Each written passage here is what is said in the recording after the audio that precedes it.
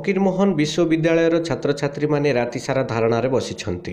ଗତକାଲି ସକାଳଠାରୁ ଆଜି ପର୍ଯ୍ୟନ୍ତ ସେମାନେ ନିଜ ଦାବିରେ ଅଡ଼ି ବସିଛନ୍ତି। ତ ବିଏଡି ଓ ଏମ୍ଏଡି ଛାତ୍ରଛାତ୍ରୀମାନେ ଶିକ୍ଷକ ପ୍ରବେଶିକା ପରୀକ୍ଷା ଦେଇପାରୁନଥିବାରୁ ଏହି ଧାରଣା ଦିଆଯାଇଛି। ଗତ ପାଞ୍ଚ ତାରିଖରେ ଭୁବନେଶ୍ୱର ପଦଯାତ୍ରାରେ ବାହାରିଥିବା ବେଳେ ଅଧା ବାଟରୁ ଜିଲ୍ଲା ପ୍ରଶାସନ ସେମାନଙ୍କୁ ଫେରାଇ ଆଣିଥିଲେ। ତିନି ଦିନ ଭିତରେ ସମସ୍ୟା ସମାଧାନ ହେବ ବୋଲି ପ୍ରତିଶ୍ରୁତି ମଧ୍ୟ ଦେଇଥିଲେ।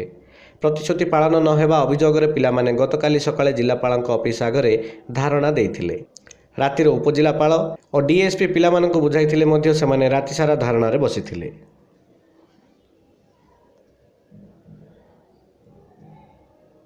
ବାଲେଶ୍ୱରରୁ ପ୍ରଫୁଲ୍ଲ ପଟ୍ଟନାୟକଙ୍କ ରିପୋର୍ଟ ଉତ୍କଳ ଖବର।